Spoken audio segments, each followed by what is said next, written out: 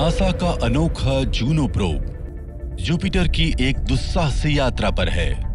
इसका मकसद हमारे सोलर सिस्टम के सबसे गहरे राज उजागर करना। हम आज सोलर सिस्टम में जो भी देखते हैं उस पर अतीत में भी या आज भी जुपिटर का असर रहा है। सारे एस्टेरॉइड्स, सारे प्लैनेट्स, सारे चंद्रमाओं और कॉमेट्स पर भी। तो कई मायनों में जूनो हमें हमारे प्लानिटरी सिस्टम और पृथ्वी के इतिहास का नज़ारा भी देता है। जूनो का मिशन जोखिम भरा है। जुपिटर स्पेसक्राफ्ट को चुटकी बजाते निकल सकता है। लेकिन इस विशाल दुनिया के बेहद करीब पहुंचकर जूनो हमारे सोलर सिस्टम के बारे में हमारी तमाम जानकारी बदल सकता है। वहाँ क्या हो रहा है ये सब जानने के लिए हमें इसके बहुत करीब पहुँचना होगा।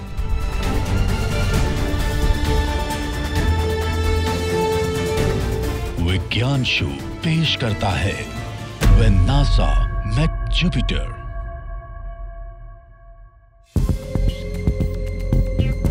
Independence day 2016 Juno Jupiter पर पहुंचकर अपना काम शुरू कर देता है. ये प्रोब अपने हाई रेजोल्यूशन कैमरा का मुँह उथल पुथल से भरी इस दुनिया की तरफ़ करता है और इसकी तस्वीरें निराश नहीं करती।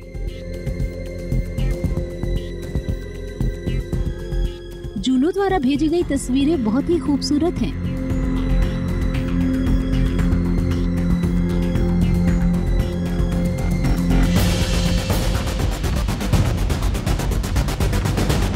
अचानक ही इस प्लैनेट की ऐसी शानदार तस्वीरें दिखने लगती हैं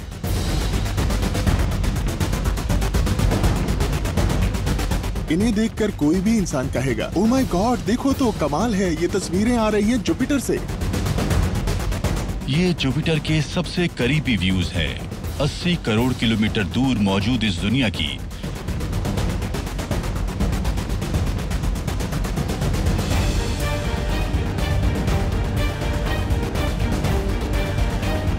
लेकिन हमने जूनो को सिर्फ़ तस्वीरें लेने के लिए ही नहीं भेजा था।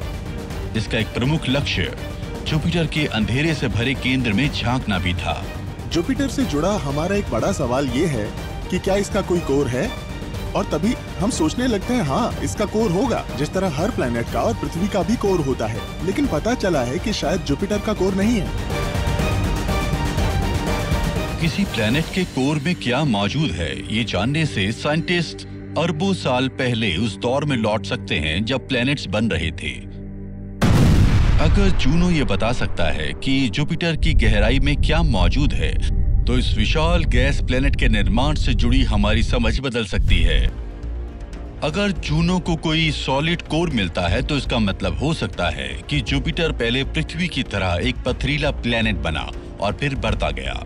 लेकिन अगर जूनो को कोर नहीं मिला तो इसका मतलब होगा कि ये पथरीले चरण को छोड़कर सीधा गैस के बादल से बन गया। इस सवाल का जवाब मिलने से कुछ दूसरे रहस्यों पर भी रोशनी पड़ सकती है। अगर हम ये पता लगा पाए कि जुपिटर कैसे बना तो हमें बाकी सोलर सिस्टम के बनने की कहानी पता चल जाएगी। तो किसी प्लैनेट के अंदरूनी हिस्से का पता कैसे लगाया जाए जब आपको सिर्फ़ बादलों का ऊपरी हिस्सा दिखाई दे रहा हो? ऐसे में ग्रेविटी का इस्तेमाल किया जा सकता है। जुपिटर का चक्कर लगाते वक्त जूनो जुपिटर के ग्रेविटेशनल पुल में छोटे छोटे हुए फर्कों का अंदाज़ा आसानी से लगा सकता है।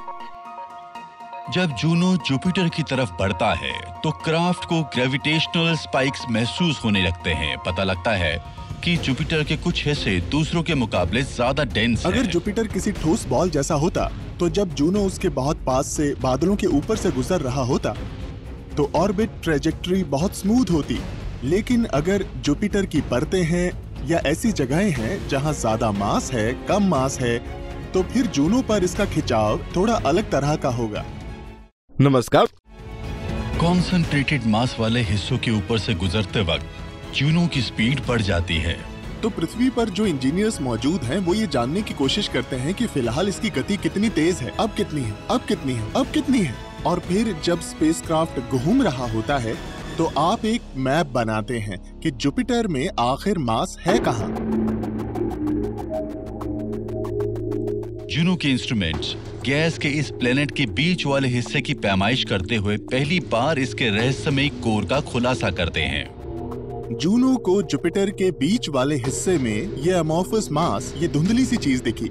ये उतना सॉलिड नहीं था जैसा हमने सोचा था। हमें लगा कि वहाँ मेटल और रॉक का कोर होगा। वहाँ कुछ और ही मिला। प्लेनेट के बीच वाले हिस्से में जूनो को घुला और आपस में मिला हाइड्रोजन और रॉकी मटेरियल नज़र आया। हमने इस तरह का प्लेनेटरी कोर पहले कभी नहीं देखा। एस्ट्रोनॉमर्स ने इसे नाम दिया है फजी हमने सोचा हमें एक आवाकाडो मिलेगा लेकिन मिली मिर्च से भरी एक कटोरी। ये है हाइड्रोजन फ्लूइड चिली कॉर्न कॉर्ने तो हमने जुपिटर के अंदरूनी हिस्से के जो मॉडल्स बनाए थे वो सभी गलत निकले। यानी हमें फिर से शुरुआत करनी होगी। एक थ्योरी ये है कि जुपिटर का निर्माण चट्टानों या गैस से नहीं बल्कि चार अरब साठ करोड़ साल पहले शुरुआती सोलर सिस्टम में बिखरे पड़े ढाई सेंटीमीटर के आकार के छोटे पत्थरों से हुआ। ये पत्थर आपस में जुड़ते गए और फिर इनसे एक विशाल चीज़ बनी तो ये एक तरह के बीज जुपिटर का कोर थे। इन बहुत सारे छोटे पत्थरों के आपस में जुड़ने से एक विशाल कोर बना जिसका मास था पृथ्वी से 20 गुना ज़्यादा। लेकिन ये पत्थर इस बढ़ते प्लेनेट को ज़्यादा समय तक संभाल नहीं सकते थे। चंद सेंटीमीटर आकार वाले इन पत्थरों को आखिरकार बड़ा आकार लेना था जैसे कि 100 किलोमीटर के प्लेनेटेसिमल ताकि इस प्लेनेट के बढ़ने की शुरुआत हो सके। बढ़ते जुपिटर की भूख भी बढ़ती ही गई।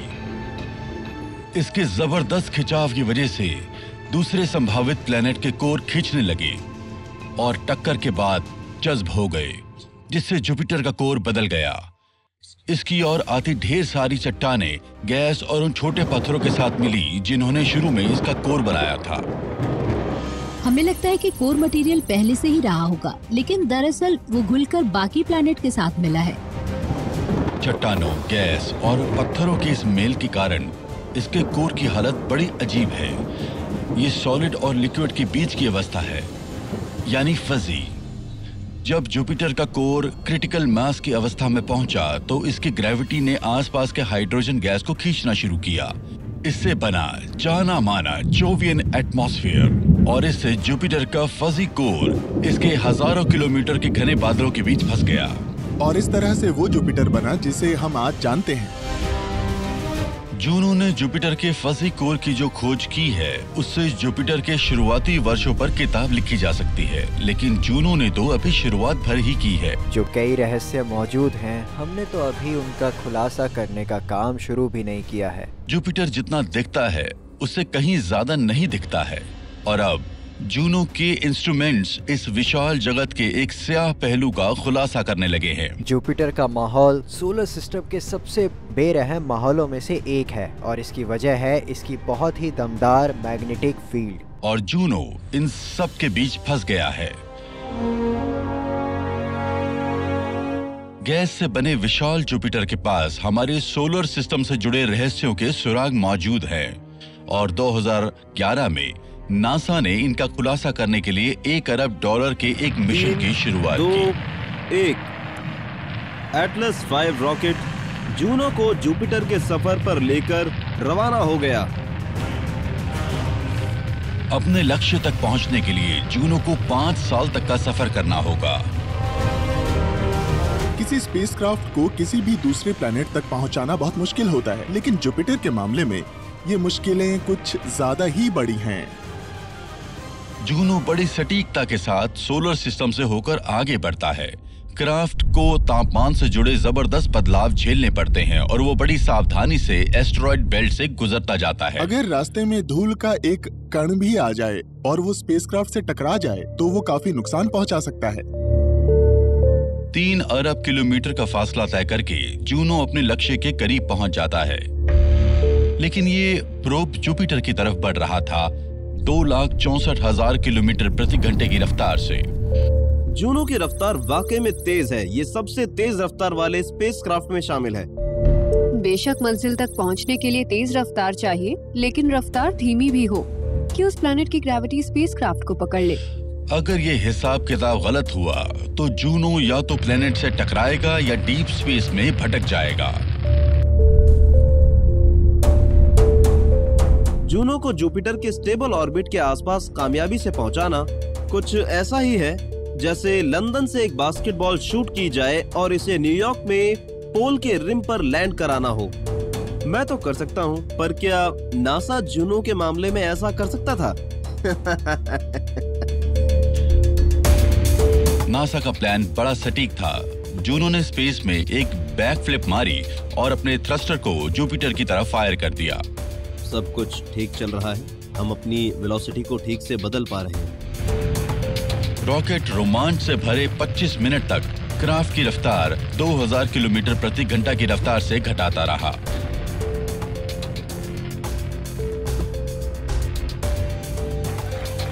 आखिरकार प्रोब जुपिटर के इर्द गिर्द वाली ऑर्बिट में पहुँच जाता है। जुलाई के दिन हम लोग फायर के दौरान ऑर्बिट में पहुँच गए। हमने एक रॉकेट मोटर फायर की थी और ये फायर ही कहा जाएगा।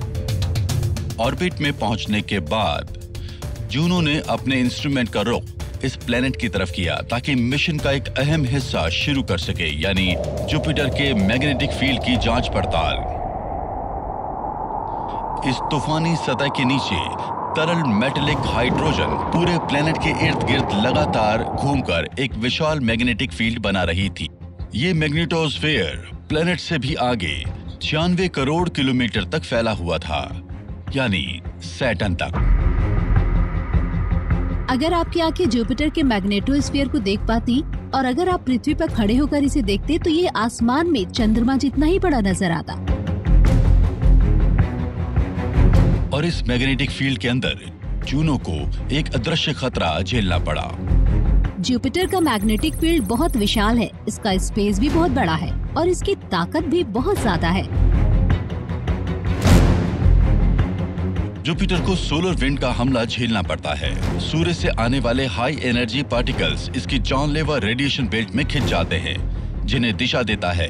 इस विशाल प्लेनेट का मैग्नेटिक फ़ील्ड मैग्नेटिक फ़ील्ड सूर्य से आने वाले चार्ज पार्टिकल्स को पकड़कर उन्हें सिस्टम के इर्द गिर्द घुमाने लगती है। और जो भी चीज़ आसपास होती है चाहे वो हमारा स्पेस क्राफ्ट ही क्यों ना हो उस पर ये बरसने लगती है। प्लेनेट के करीब रेडिएशन का लेवल चर्नोबिल में हुए हादसे के दौरान उसके रिएक्टर को रूम से भी 30 गुना ज़्यादा होता है।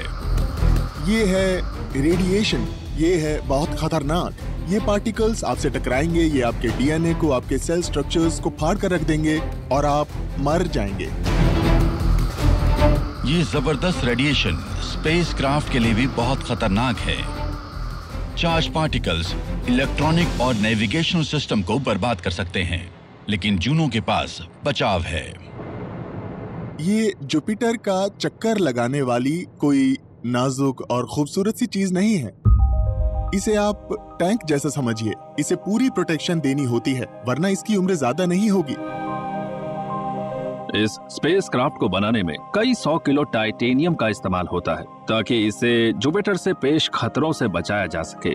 तो इसे युद्ध में जा रहे किसी आर्मर टैंक जैसा होना होता है। हल्के वज़न का टाइटेनियम सख्त जान होता है। जूनो के करीब सवा सेंटीमीटर मोटी शील्ड जुपिटर के खतरनाक रेडिएशन को निन्यानवे फ़ीसदी तक रोक देती है। लेकिन इसके बावजूद, जूनो ज़्यादा समय तक इस बमबारी को नहीं झेल सकता। तो ये क्राफ्ट इस गैस जाइंट के इर्द गिर्द एक अनोखी परिक्रमा पर रवाना होता है। इसकी ऑर्बिट बहुत लंबी होती है और इसका ज़्यादातर वक्त काफ़ी दूर गुजरता है। फिर ये एक गोता लगाता है, करीब आता है और फिर सुरक्षित निकल जाता है ताकि कम्युनिकेट और प्रोसेस कर सके और ये फिर लौटता है। जूनो एक बड़ा जोखिम उठाता है। ये अपने एक अहम मकसद को हासिल करने के लिए इन रेडिएशन बेल्ट में घुसता है। जुपिटर के विशाल मैग्नेटिक फ़ील्ड की मैपिंग करता है और इस प्लेनेट का चक्कर काटते हुए साइंटिस्ट को कुछ बिल्कुल नए नजारे दिखाता है। प्लेनेटरी साइंटिस्ट डैन डर्डा बताते हैं। हम यहाँ पर एक एलिमेंट्री स्कूल लेवल एक्सपेरिमेंट के ज़रिए पृथ्वी के इस मैग्नेटिक फ़ील्ड स्ट्रक्चर के बारे में जान सकते हैं। इसके लिए हम आयन फाइलिंग को एक सिंपल बार्ड मैग्नेट की सतह पर छिड़केंगे जिसका एक नॉर्थ और साउथ पोल है। पृथ्वी का मैग्नेटिक फ़ील्ड हमारे प्लेनेट के चारों तरफ़ एक परफेक्ट बबल बनाकर सोलर रेडिएशन और कॉस्मिक रेस से हमारी हिफाजत करता है। देखिए मैं इस आयन फाइलिंग को छिड़क रहा हूँ और मैं देख पा रहा हूँ, बिल्कुल हमारे प्लेनेट की तरह ही। यहाँ भी नॉर्थ और साउथ मैग्नेटिक फील्ड्स लाइन बनती जा रही हैं। पृथ्वी का मैग्नेटिक फ़ील्ड इस मामले में काफ़ी शरीफ कहा जाएगा। इसे हम कहेंगे डाइपोल फ़ील्ड इसका एक स्पष्ट नॉर्थ मैग्नेटिक पोल और साउथ मैग्नेटिक पोल है। हमारे खुशकिस्मती है कि पृथ्वी का मैग्नेटिक फ़ील्ड काफ़ी स्थिर है, लेकिन जूनों से मिले नए नतीजे दिखाते हैं कि शायद जुपिटर इतना खुशकिस्मत ना हो। जुपिटर की मैग्नेटिक फ़ील्ड इससे कई ज़्यादा पेचीदा है। जुपिटर इन नियमों के मुताबिक नहीं चलता, और इसकी मैग्नेटिक फ़ील्ड जो चाहेगी, वो वही करेगी। और इस मैग्नेटिक फ़ील्ड का जनरेशन इतना पेचीदा है, इतना टेढ़ा मेढ़ा है, और इतना वाइड है, कि इस मैग्नेटिक फ़ील्ड का शेप सच में बहुत अजीब होगा, जिन्हें अभी हमने सिर्फ़ समझना शुरू किया है। अगर हम पृथ्वी को देखें तो हमारा मैग्नेटिक फ़ील्ड काफ़ी सीधा साधा है। ये किसी विशाल बार मैग्नेट जैसा है, जिसके नॉर्थ और साउथ मैग्नेटिक पोल हैं। जुपिटर के भी ऐसे पोल हैं इसे कहा जाता है एक डाइपोलर फ़ील्ड लेकिन इसके दो नहीं बल्कि तीन पोल होते हैं। जूनो का मैग्नेटिक फ़ील्ड मैप एक नॉर्थ और साउथ पोल दिखाता है और जुपिटर के इक्वेटर पर एक अजीब से मैग्नेटिक उथल पुथल भी। लगता है जैसे जुपिटर का एक तीसरा बाजू उगाया हो और यह बात सच में बहुत रहस्यमयी है। मैग्नेटिक फ़ील्ड मैप्स में नॉर्थ पोल लाल दिखता है और साउथ पोल नीला।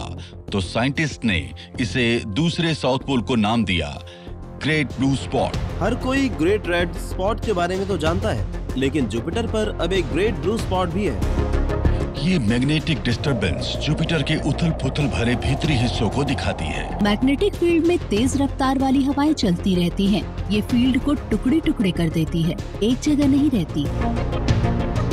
ये कोई तूफ़ान जैसी चीज़ नहीं होती। हाँ लेकिन इसे मैग्नेटिक स्टॉर्म कहा जा सकता है। जुपिटर के अंदर मौजूद उथल पुथल शायद मैग्नेटिक फ़ील्ड को एट रही हो, जिससे ग्रेट ब्लू स्पॉट और खतरनाक रेडिएशन बेल्ट ड्राइव हो रही है, जिनसे होकर जूनो को गुजरना है। पृथ्वी से विपरीत जुपिटर का ज़्यादा हिस्सा ठोस नहीं है तो इसके बादल और इसकी गैसेस थोड़ी अलग रफ्तार पर मूव कर रही हैं और इसकी वजह से जो मैग्नेटिक फ़ील्ड बनता है, उसमें लगातार बड़े बदलाव आ रहे हैं। जुपिटर पर जिस तरह का वेरिएबल मैग्नेटिक फ़ील्ड है, उसे पाने के लिए पूरी पृथ्वी को पिघलना होगा और हम ये नहीं चाहेंगे। पृथ्वी पर पानी कैसे पहुँचा, ये समझना बहुत ज़रूरी है, क्योंकि शुरुआत में ये नहीं होना चाहिए था। जुपिटर के हर परिक्रमा के दौरान जूनो इस विशाल प्लेनेट के और ज़्यादा रहस्य उजागर करता जाता है। लेकिन जुपिटर के सबसे गहरे राज शायद हमारी शुरुआत पर भी रोशनी डाल सकते अगर हैं। अगर हम पृथ्वी को और सोलर सिस्टम में अपनी जगह को समझना चाहते हैं तो इस सिलसिले में जूनो ने जुपिटर पर ऐसे बहुत से रहस्यों को मौजूद पाया है। जूनो स्पेसक्राफ्ट जुपिटर के रहस्यों का खुलासा कर रहा है। चाहे ये इस पर मंडराते बादल हों या फिर अंधेरे वाला इसका केंद्र लेकिन जूनो की खोजें इस गैस जाइंट तक ही सिमटी नहीं है। ये तो हमारे प्लेनेट से जुड़े रहस्यों का भी राज खोल सकती हैं। जुपिटर सोलर सिस्टम के निर्माण से जुड़ी एक अहम चीज़ है। यानी पृथ्वी कैसे बनी इसे समझने के मामले में बहुत इम्पोर्टेंट है। जूनो हमें हमारे प्लानिटरी सिस्टम यहाँ तक कि पृथ्वी के इतिहास के बारे में भी जानकारियाँ दे रहा है। चार अरब साठ करोड़ साल पहले हाइड्रोजन गैस और कॉस्मिक डस्ट के विशाल बादल के खत्म होने से न्यूक्लियर फ्यूजन शुरू हुआ। इस उथल पुथल के कारण एक तारा, चार पथरीले जगत और गैस वाले चार जाइंट का जन्म हुआ, जिनसे बना हमारा सोलर सिस्टम सोलर सिस्टम के अलग अलग हिस्से होते हैं। अंदरूनी हिस्से में होते हैं रॉकी और मेटालिक और बाहर वाले हिस्सों में है गैस और पानी से भरपूर। इस बारे में ज़्यादा सोचे बिना भी हम इस बात को समझ सकते हैं क्योंकि सूर्य के नज़दीक गर्मी होती है और उससे दूर जाते ही ठंड होने लगती है। लेकिन पृथ्वी इस नियम को तोड़ती है। हमारे ग्रह पर थ्योरीज के अंदाजे से कहीं ज़्यादा जीवन देने वाला पानी मौजूद है। पृथ्वी सोलर सिस्टम के एक ऐसे हिस्से में बनी जिसके बारे में लगता है कि वो बहुत ही सूखा होना चाहिए क्योंकि सूर्य से काफ़ी करीब था। हमारा प्लेनेट सूर्य से सिर्फ़ 24 करोड़ किलोमीटर दूर है। लेकिन साइंटिस्ट के मुताबिक ये स्नो लाइन के अंदर है। इस लाइन के अंदर सूर्य की किरणें इतनी दमदार होती हैं कि किसी प्लेनेट के बनने के दौरान पानी को भाप बनाकर उड़ा दें। स्नोलैंड के अंदर टेम्परेचर काफ़ी ज़्यादा होता है और पास मौजूद सूर्य से काफ़ी एनर्जी आ रही होती है। जगह सूर्य से ज़्यादा करीब होगी तो वो गैशियस और आइस रिच मटेरियल्स खत्म हो जाएँगे क्योंकि सूर्य की गर्मी उन्हें भाप बनाकर उड़ा देगी। ऐसे में पानी वाली हमारी ये दुनिया स्पेस में कोई सूखी चट्टान होनी चाहिए पृथ्वी पर पानी कैसे पहुँचा ये समझना बहुत ज़रूरी है क्योंकि शुरुआत में ये नहीं होना चाहिए था। लेकिन जुपिटर के पास इस रहस्य का जवाब हो सकता है। पृथ्वी पर मौजूद पानी की पहेली सुलझाने के लिए जूनो ये जानना चाहता है कि जुपिटर का जन्म कहाँ हुआ। जुपिटर कैसे कहाँ और कब बना ये समझना बहुत ज़रूरी है क्योंकि ये सोलर सिस्टम की पूरी विकास प्रक्रिया पर अपना दबदबा रखता है। ये अब तक का सबसे बड़ा प्लेनेट है। ये ऐसी सबसे बड़ी चीज़ है जो हर चीज़ को घुमा रही है। शुरुआती सोलर सिस्टम में मौजूद पानी जुपिटर की ज़बरदस्त ग्रेविटी की वजह से शायद जगह बदलता रहा होगा। तो अगर जूनो जुपिटर की हिस्ट्री को जान सके तो उससे पता चलेगा कि H2O हमें वहाँ क्यों मिलता है जहाँ इसकी बिल्कुल उम्मीद नहीं। हम ये जानते हैं कि प्लैनेट्स बनने के दौरान और बन जाने के बाद भी सूर्य के करीब और उससे दूर जा सकते हैं। तो हम ये कैसे पता लगाएँ कि जुपिटर कहाँ बना? इसके लिए जानना होगा कि जुपिटर के अंदर कितना पानी मौजूद है। अगर हम ये समझ सकें कि जुपिटर ने पानी के साथ अपना रिश्ता कैसे बनाया तो हम ये समझ पाएँगे कि यह पानी पृथ्वी समेत पूरे सोलर सिस्टम में आखिर पहुँचा कैसे। अगर जूनो जुपिटर पर मौजूद पानी की मात्रा को माप सके तो इससे 20 साल पुराना एक रहस्य सुलझ जाएगा। दिसंबर उन्नीस नासा का गैलीलियो प्रोब जुपिटर के एटमॉस्फेयर में एक जानलेवा गोता लगाता है। प्लैनेट्स के बारे में हम दो तरीके से जाँच पड़ताल कर सकते हैं। एक ये कि प्लैनेट का चक्कर लगाएँ और हर तरफ़ से उस पर नज़र डालें। और दूसरा तरीका है प्रोब को वहाँ तक ले जाएँ ताकि वो ये देख सके कि प्लैनेट के अंदर आखिर हो क्या रहा है। गैलीलियो प्रोब को गैलीलियो स्पेसक्राफ्ट के साथ अटैच किया गया था जो उन्नीस सौ पंचानवे में जुपिटर पर गया। जुपिटर पर पहुँचने के बाद ये फ़ौरन अलग हो गया और उसके एटमॉस्फेयर में दाखिल हो गया। इसे एटमॉस्फेयर में जाकर बादलों की अलग अलग परत को नापने और उसकी बनावट का पता लगाने के लिए ही डिज़ाइन किया गया था। प्रोब ने जुपिटर के बादलों की तरफ़ जानलेवा गोता लगाना शुरू कर दिया। सघन एटमॉस्फेयर से पैदा फ्रिक्शन के कारण स्पेसक्राफ्ट के पैनल उखड़ गए और पैराशूट जल गया। जुपिटर में 155 किलोमीटर की गहराई पर पहुँचने के बाद पूरा प्रोब भाप बनकर उड़ गया। लेकिन उससे पहले इसने अपने इंस्ट्रूमेंट से एटमॉस्फेयर के सैंपल ले लिए। इस दौरान ये अपने आसपास के एटमॉस्फेयर को नाप पाया और पानी का भी पता लगाने की कोशिश की पर पानी मिला नहीं और ये अजीब है। वहाँ सब कुछ एकदम सूखा था तो आखिर जुपिटर का एटमॉस्फेयर इतना ड्राई क्यों था? अगर गैलीलियो प्रोब से मिले नतीजे सही हैं, तो 4 अरब 60 करोड़ साल पहले जुपिटर सूर्य के करीब बना होगा। लेकिन ये पूरी कहानी नहीं है। 20 साल बाद नासा ने एक दूसरी राय लेने के लिए जूनो को भेजा। जूनो एक ऑर्बिटर है तो इसमें बहुत सारे इंस्ट्रूमेंट्स और डिटेक्टर्स हैं ताकि वो जुपिटर की खोजबीन करें और जाने की आखिर वहाँ क्या हो रहा है। जूनो को पानी का पता लगाने के लिए अपनी ज़िंदगी खतरे में डालने की ज़रूरत नहीं है। ये क्राफ्ट एक माइक्रोवेव रेडियोमीटर के ज़रिए जुपिटर के घने बादलों से झांकता है ताकि सुरक्षित दूरी से H2O का पता लगा सके। इन माइक्रोवेव्स के ज़रिए जूनो जुपिटर के पानी का एक ग्लोबल मैप बनाता है। जूनो ने ये पता लगाया कि जुपिटर पर बहुत सा पानी है। बस इत्तेफाक से गैलीलियो को एक सूखी जगह नज़र आई। लेकिन अगर वो जुपिटर पर कहीं और पहुँचता तो उसे खूब पानी नज़र आता।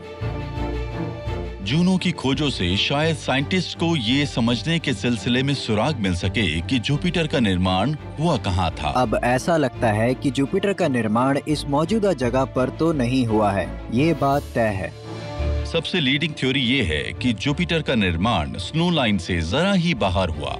ये सूखे अंदरूनी सोलर सिस्टम और गीले बाहरी सोलर सिस्टम के बीच की सीमा लेकिन है। हमें पता चला कि जहाँ वो ओरिजिनल स्नो लाइन होनी चाहिए थी वहाँ से जुपिटर सूर्य की दोगुनी दूरी पर है। तो इससे हमें एक दिलचस्प बात पता चल रही है। शायद जुपिटर अपनी मूल जगह से दूर चला गया हो जिससे ज़बरदस्त उथल पुथल हुई। जुपिटर के गतिमान होने से कई चीज़ें टकराई और सोलर सिस्टम से बाहर हो गई। इसने अपने रास्ते में आने वाली हर चीज़ को बिखेर दिया होगा। ये प्लेनेट आकार में सबसे बड़ा है। इसका रास्ता कौन रोक सकता है?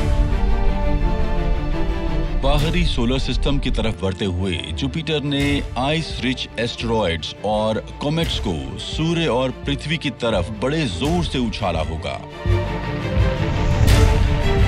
जुपिटर ने तो जैसे एक तरह से बर्फ़ को अंदरूनी सोलर सिस्टम की तरफ़ ढकेल दिया होगा, ये पानी से भरपूर प्लेनेटेसिमल्स की तरह लहर रही होगी और इसी से पृथ्वी के महासागर बने होंगे।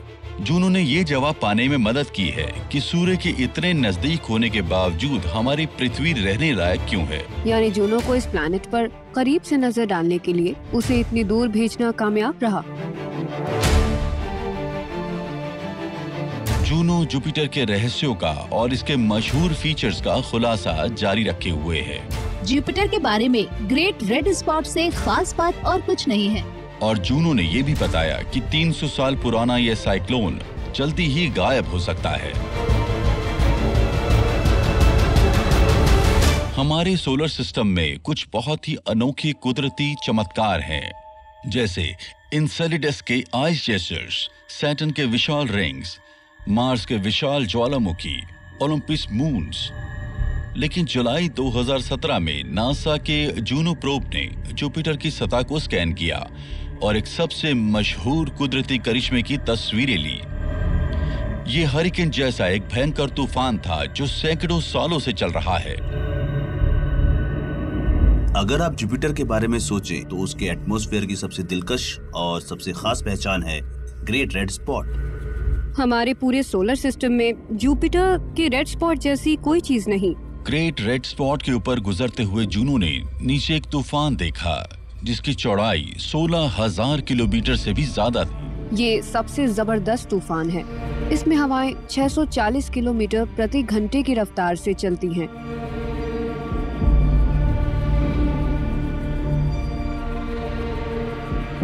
पृथ्वी के सबसे दमदार कैटेगरी फाइव हेरिकेन्स की ताकत जुपिटर के तूफ़ान से आधे से भी कम होती है।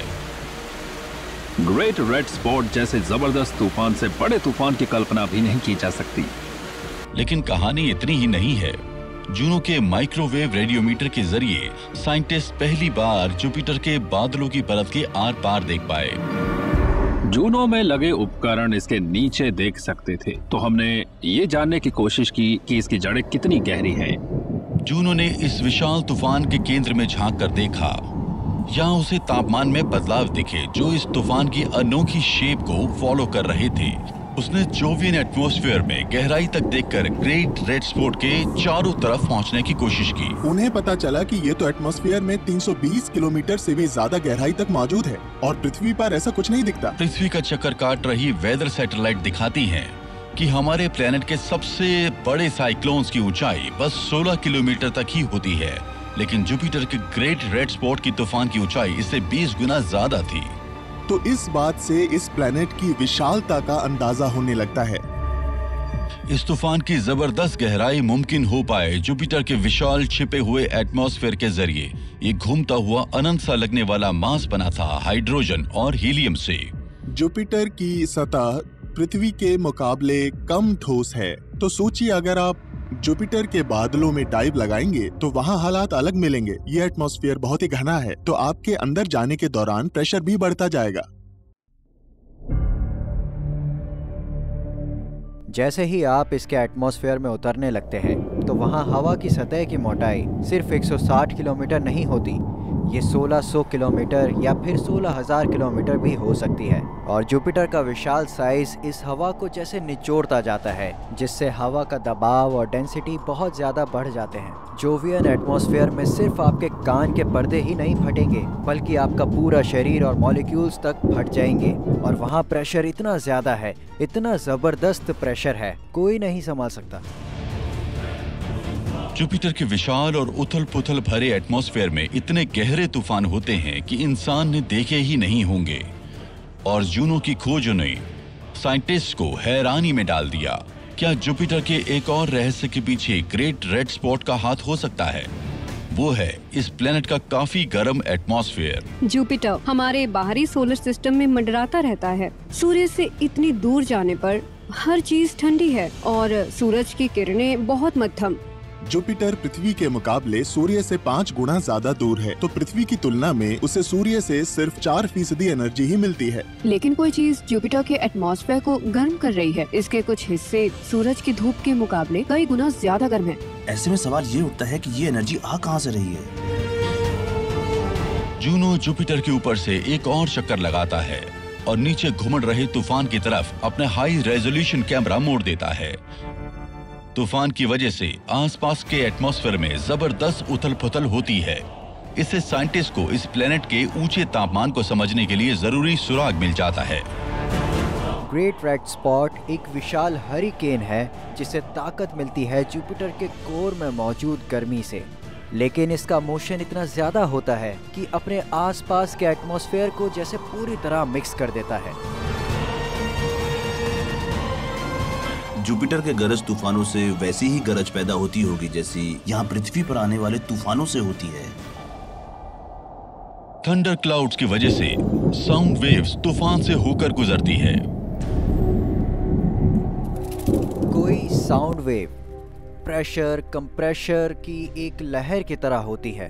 जिसमें एयर मॉलिक्यूल्स या वाटर मॉलिक्यूल्स आपस में बहुत सट जाते हैं। और जब आप किसी चीज़ को इस तरह निचोड़ते हैं या सटाते हैं तो उनके बीच का फासला घट जाता है और वो काफ़ी गर्म हो जाते हैं। ये साउंड वेव्स इस तूफ़ान से 800 किलोमीटर ऊपर तक उठती है और वहाँ ब्रेक होकर इस साउंड एनर्जी को हीट में बदल देती है। ये साउंड वेव्स आपस में टकराती हैं और काफ़ी एनर्जी पैदा करती हैं। और आसपास की गैसेस को भी गर्म करते हैं। ग्रेट रेड स्पॉट ने जोवियन एटमॉस्फेयर को सैकड़ों सालों तक गर्म होने में मदद की है लेकिन नई तस्वीरों से पता चल रहा है कि अब शायद हालात बदलने वाले हैं। जुपिटर का रेड स्पॉट बहुत बड़ा है। इसका आकार पृथ्वी के मुकाबले बहुत ज़्यादा है। इसे देखकर लगता है कि ये काफ़ी स्थिर होगा क्योंकि ये काफ़ी समय से एक ही जगह दिखता रहा है। लेकिन हाल में हम इसे बदलते देख रहे हैं।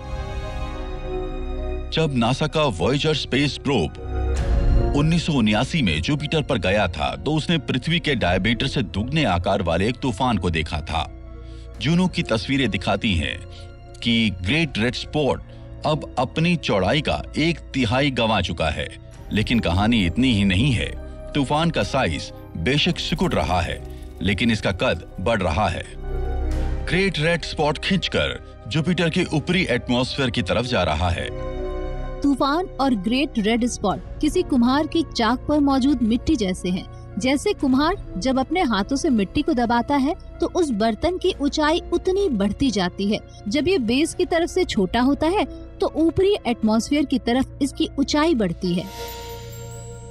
इसकी लंबाई बढ़ रही है और हम ये देखते आए हैं कि पृथ्वी पर भी ऐसा ही होता है और ऐसा होने पर विंडशीयर तूफ़ान के ऊपरी हिस्से को एक तरह से काटकर इसे खींचता है। तो हम अगले कुछ बरसों में इस बात पर नज़र रखेंगे कि कहीं जुपिटर के साथ भी तो ऐसा ही नहीं शायद इसमें ज़्यादा टाइम ना लगे कि जुपिटर की ऊंचाई पर बहने वाली हवाएँ इस मशहूर तूफ़ान के टुकड़े टुकड़े कर दें। हमारे सोलर सिस्टम का सबसे प्रसिद्ध तूफ़ान शायद जल्दी ही गायब हो जाए लेकिन जूनो ने सबसे अजीब जगहों पर छिपे दूसरे तूफानों का भी खुलासा किया है। ग्रेट रेड स्पॉट पर छिपा तूफ़ान इनमें से एक है लेकिन जुपिटर पर चल रहा सिर्फ़ यही एक इकलौता तूफ़ान नहीं है।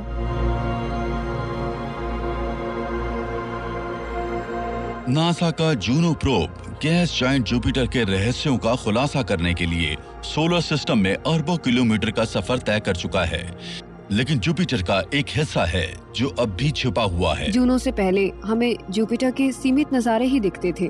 इसके पोल्स के ऊपर से तो हम कभी उड़ान न भर पाते। जुपिटर पर ऐसा करना मुश्किल है और कोई मिशन अब तक ये काम नहीं कर पाया है। अगस्त 2016 में जूनो अपने फ़्लाइट प्लान को फॉलो करते हुए एक अनजान इलाके में गया ताकि पहली बार जुपिटर के रहस्यमय पोलर इलाकों का खुलासा कर सके। जब पहली बार हमने पोल पर नज़र डाली तो यह इलाका हमारे जाने पहचाने जुपिटर से बिल्कुल मेल नहीं खाता था। अगर कोई और हमें इसे दिखाता तो हम पहचान ही नहीं पाते कि ये जुपिटर है। जूनो के कैमरा ने एक ऐसा अजीबो गरीब नीला विस्तार दिखाया जिससे साइंटिस्ट हैरान हो गए। ये नीला रंग बादलों में सूरज की रोशनी के अभाव के कारण हुए केमिकल बदलावों की वजह से हो सकता है। लेकिन इन नीले बादलों के अंदर जूनो को जो दिखा, वो और भी अजीब था। विशाल सेंट्रल साइक्लोन्स 320 किलोमीटर प्रति घंटा की रफ्तार से हर पोल के इर्द गिर्द घूम रहे थे। और ये साइक्लोन उत्तर में आठ और दक्षिण में पाँच स्टोमी वॉटिसेस से घिरे हुए थे। ये अजीब साइक्लोन, विशाल स्वर्ल्स और गैस के वोर्टिसेस जुपिटर के पोल्स के इर्द गिर्द चक्कर लगा रहे थे। और कई सारे पैटर्न्स भी बना रहे थे। यहाँ स्केल्स का अंदाज़ा लगाना मुश्किल है। पोल के पास ही मौजूद नॉर्थ पोलर सेंट्रल साइक्लोन की चौड़ाई 4000 किलोमीटर है और इसका आकार कॉन्टिनेंटल अमेरिका जैसा है। आखिर वहाँ हो क्या रहा है? पृथ्वी पर तो ऐसा कुछ भी नज़र नहीं आता है। पृथ्वी पर हमारा मौसम चलता है सूर्य की गर्मी के इशारों पर। ये गर्मी हमारे ग्रह के इक्वेटर से टकराकर पूरी सतह पर फैल जाती है। ज़बरदस्त साइक्लोन्स बनते हैं, ट्रॉपिकल जल राशियों पर, और ये घूमते हैं पूरे ग्रह पर। लेकिन पोलर इलाकों को सूर्य की कम एनर्जी मिलती है तो पोल्स पर साइक्लोन्स नहीं बन सकते। पृथ्वी पर इक्वेटर वाले हिस्से ज़्यादा गर्म है, ज़्यादा तूफ़ान आते हैं। लेकिन पोल्स पर सूर्य की धूप कम पड़ती है तो वहाँ ये सब नहीं होता। लेकिन जुपिटर का मौसम तो एकदम ही अलग है। हमें जुपिटर के पोल्स पर लाइटनिंग और कन्वेक्टिव थंडर स्टॉर्म्स नज़र आते हैं लेकिन इक्वेटर पर नहीं यानी पृथ्वी पर माहौल एकदम विपरीत दिखता है। अब सवाल ये है कि जुपिटर के तूफ़ान चल कैसे रहे हैं? जुपिटर पृथ्वी के मुकाबले सूर्य से पाँच गुना ज़्यादा दूर है और इसे सूर्य की बहुत कम ऊर्जा मिलती है। पृथ्वी के उलट जुपिटर के पोलर इलाकों में काफ़ी एक्शन नज़र आता है। कोई चीज़ इस प्लेनेट के अजीब मौसम को चला रही है और जूनो ने इस विशाल प्लेनेट के थर्मल एमिशंस के जो स्कैन किए हैं उनसे पता चलता है कि ये खुद जुपिटर ही हो सकता है। हम जुपिटर की अंदरूनी गर्मी को बाहर निकलते देख सकते हैं। तो जुपिटर के वो हिस्से चमकदार लगेंगे जहाँ हमें ये हीट दिखती है। जूनो ने जुपिटर के क्लाउड बैंड्स के नीचे ज़बरदस्त गर्मी का पता लगाया। जुपिटर के पास इतना मटेरियल, इतना मास इतनी ग्रेविटी है कि इसका अंदरूनी हिस्सा बहुत ही डेंस और बहुत ज़्यादा गर्म है। कोर वाले हिस्से में शायद इसका तापमान सूर्य की सतह के तापमान से भी कई हज़ार डिग्री ज़्यादा है। जुपिटर के बीच वाले स्याह हिस्से में मौजूद ये गर्मी अरबों साल पहले हुए इसके जंग की एक निशानी है। जिन ज़बरदस्त टक्करों से ये प्लेनेट बना था उनके कारण इसका कोर बहुत गर्म हो गया। और ये आज भी हज़ारों किलोमीटर मोटी इंसुलेटिंग गैस की परत के नीचे दबा हुआ है। गर्मी धीरे धीरे बाहर की तरफ़ निकलती है। तो जुपिटर के तेज़ी से घूमते एटमॉस्फेयर से पैदा होते हैं खतरनाक साइक्लोन और गरजते तूफ़ान। यही चीज़ वहाँ के ज़्यादातर मौसम को चला रही है। इसे सूर्य नहीं, बल्कि खुद जुपिटर ड्राइव करता है। लेकिन जुपिटर के पोलर स्टॉर्म्स के पीछे अब भी एक राज मौजूद है। जब जूनो जुपिटर का एक और चक्कर लगा रहा था तो इसे वही तूफ़ान अब भी सक्रिय नज़र आया। जुपिटर के पोल्स पर आने वाले तूफानों से जुड़ी एक दिलचस्प बात यह है कि वहाँ पर वॉटिसीज दिखाई देते हैं जो कि काफ़ी नियमित हैं और बार बार नज़र आते हैं। ये जियोमेट्रिक अरेंजमेंट्स बड़े अजीब हैं। लेकिन हमारे सोलर सिस्टम के कुछ दूसरे ज़बरदस्त तूफानों से काफ़ी मेल खाते हैं। नवंबर 2012 कसीनी स्पेसक्राफ्ट सैटन के नॉर्थ पोल का चक्कर लगा रहा था। तभी इसने नीचे एक बहुत ही अजीब घुमड़ते तूफ़ान की तस्वीरें खींची। पहली बार सैटर्न के पोल के ऊपर से उड़ते वक्त इस मिशन को एक बड़ा हेक्सागोन दिखा। सैटर्न का ये हेक्सागोन कुदरती तौर पर बना नहीं लग रहा था लेकिन पृथ्वी पर साइंटिस्ट ने सच्चाई जानने के लिए फ्लूट सिमुलेशन का इस्तेमाल किया। जब हमने लैब में सैटर्न को रिक्रिएट करने की कोशिश की तो ये स्ट्रक्चर बड़ी आसानी से बन गया। और इससे हमें ये आइडिया मिला कि इस तरह के स्ट्रक्चर शायद गैस जाइंट्स में काफ़ी कॉमन हो सकते हैं। लेकिन जुपिटर के नॉर्थ पोल पर एक सरल और स्मूथ ज्योमेट्रिक शेप होने की बजाय जेट स्ट्रीम्स ने आठ अलग अलग साइक्लोन संजो रखे थे। इन तूफानों को सेंटर की तरफ़ बढ़कर एक मेगा साइक्लोन का रूप ले लेना चाहिए था जैसा हम सैटर्न पर देखते हैं। इसके उलट ये स्थिर थे। जब एक दूसरे के करीब मौजूद दो साइक्लोन एक ही दिशा में घूम रहे होते हैं तो उन्हें एक दूसरे से टकराना चाहिए लेकिन वो टकराते नहीं। ये अलग थलग तो हो ही नहीं रहे बल्कि ये इन अजीब और पेचीदा पैटर्न्स में भी बदल रहे हैं जो लंबे वक्त तक खुद को कायम रखते हैं। तो ऐसा क्यों हो रहा है? और जब जूनो इस प्लेनेट के ऊपर से उड़ान भरता है तो मौसम से जुड़े एक और रहस्य का खुलासा करता है। क्राफ्ट को पता चलता है रेडियो वेव्स का जो एक सेकंड में चार बार तक स्पाइक कर रही है। ये पानी की निशानी है ज़बरदस्त लाइटनिंग स्ट्राइक्स की। बादल एटमॉस्फेयर में चक्कर लगाने के दौरान इलेक्ट्रिक चार्ज बनाते हैं और इससे आसमानी बिजली बनती है। हमने जूनो स्पेस के मामले में ऐसा देखा है। ये मेगा स्टॉर्म्स है। पृथ्वी पर तो इतने बड़े तूफ़ान नज़र ही नहीं आते। और जूनो को पता चला कि इन गरज वाले तूफानों में सिर्फ़ बिजली की चमक ही नहीं होती है। वहाँ पानी और अमोनिया के विशाल बर्फीले ओले भी होते हैं। और इस केमिकल से जुपिटर के बादलों को मिलता है, उसका केसरिया रंग। जुपिटर के एटमॉस्फेयर में ऊंचाई पर अमोनिया मिलता है पानी से और एक लिक्विड बॉल बन जाता है, जो अपने इर्द गिर्द बर्फ़ इकट्ठा करने लगता है। और फिर ये जुपिटर के एटमॉस्फेयर में ओलो की तरह बरसता है। पृथ्वी पर ये ओले ज़मीन पर गिरते हैं, लेकिन जुपिटर पर ज़मीन है ही नहीं।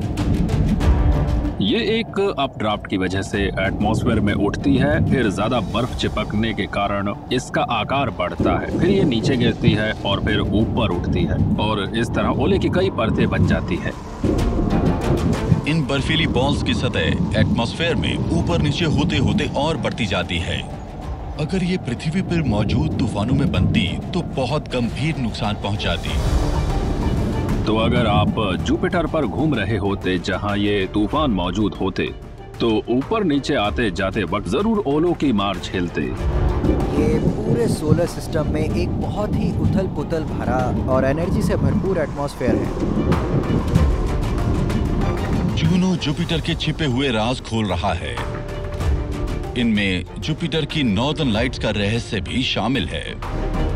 जब जूनो ने जुपिटर पर ऑरोरा से आ रही लाइट्स को स्टडी किया तो पता चला कि वहाँ कुछ बहुत ही अजीब हो रहा है।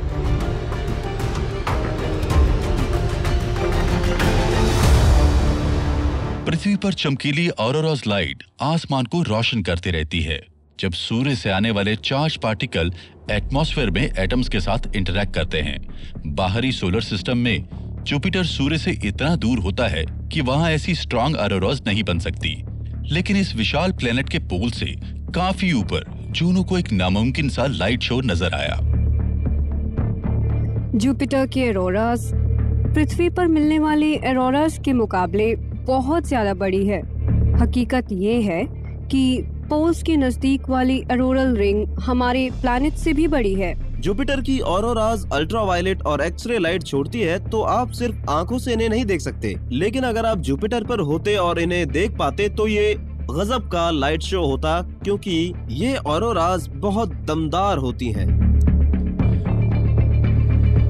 ये चमक दमक वाले डिस्प्ले जो जुपिटर के एटमॉस्फेयर से चार्ज पार्टिकल्स के टकराने का सबूत है पर अगर ये सूर्य की तरफ़ से नहीं आ रही हैं, तो आ कहाँ से रही हैं?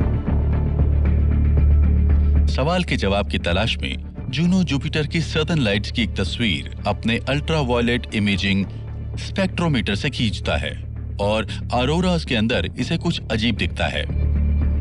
जब जूनो ने जुपिटर पर ओरोरा से आ रही लाइट्स को स्टडी किया तो पाया कि ये उम्मीद से कहीं ज़्यादा दमदार थी। और अगर आप जुपिटर के पोल्स को हमारी आँखों से ना दिखने वाली अल्ट्रावायलेट वेवलेंथ्स में देखें तो आपको एक हॉटस्पॉट दिखेगा।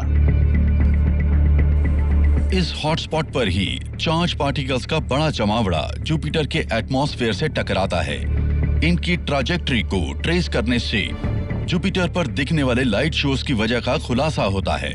यह है जुपिटर के दमदार चंद्रमाओं के ज्वालामुखी। जुपिटर के चंद्रमा आयु पर सैकड़ों सक्रिय ज्वालामुखी हैं, जो स्पेस में मटेरियल्स को उगलते रहते हैं जिनमें से कुछ जुपिटर के मैग्नेटिक फ़ील्ड में फंस जाते हैं।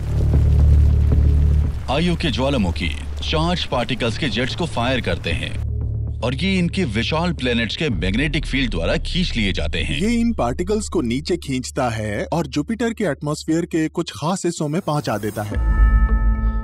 लेकिन सिर्फ़ आयु ही जुपिटर के पोलर लाइट शोज़ के लिए जिम्मेदार नहीं है। अगर आप और आगे जाएँ तो मिलेंगे यूरोपा गैनमीर टेलिस्टो और ये ज़्यादा बर्फीले हैं। और ज़रूरी नहीं कि यहाँ ज्वालामुखी हो। ये बर्फीले चंद्रमा जुपिटर के मैग्नेटिक फ़ील्ड को ऐंठते हैं। कुछ चंद्रमाओं के अपने मैग्नेटिक फील्ड्स होते हैं जो जुपिटर के मैग्नेटिक फ़ील्ड के साथ इंटरेक्ट करते हैं और उससे जुपिटर का औरोरा डिस्प्ले और ज़बरदस्त हो जाता है। जुपिटर के चंद्रमा सोलर सिस्टम की सबसे कमाल की नॉर्दर्न लाइट्स को ताकत देने के लिए मिलकर काम करते हैं।